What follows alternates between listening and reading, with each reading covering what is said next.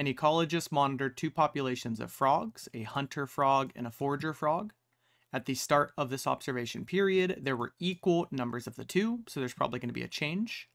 The easiest number to start with for both populations is always going to be 100.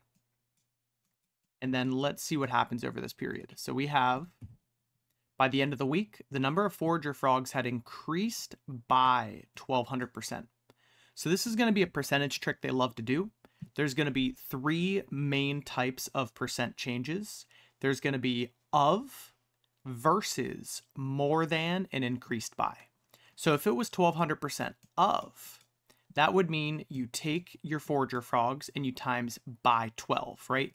The reason why you times by 12 is because your percentages, you always divide by 100 before you do math with them.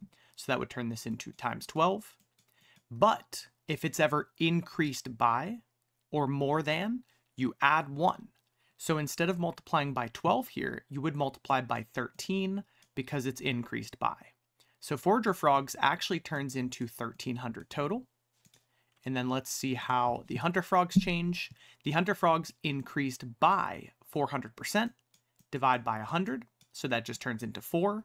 And again, since if it was of, it would be times 4.